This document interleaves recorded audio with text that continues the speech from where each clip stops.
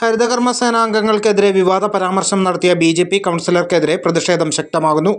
വിവാദ പരാമർശം നടത്തിയ കുന്നംകുളം നഗരസഭാ കൗൺസിലർ കെ കെ മുരളി മാപ്പ് പറയണമെന്നാവശ്യപ്പെട്ട് ഹരിതകർമ്മ സേനാംഗങ്ങൾ പ്രതിഷേധ മാർച്ചും ധർണയും നടത്തി.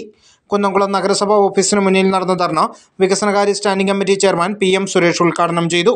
ഹരിതകർമ്മ സേനാംഗങ്ങളെ തോട്ടിപ്പണിക്കാർ എന്ന് അഭിസംബോധന ചെയ്ത B J P councillor K K Murali പരാമർശം പിൻവലിച്ച് മാപ്പ് പറയണമെന്ന് പ്രതിഷേധം നടത്തിയ ഹരിതകർമ്മ സേനാംഗങ്ങൾ ആവശ്യപ്പെട്ടു.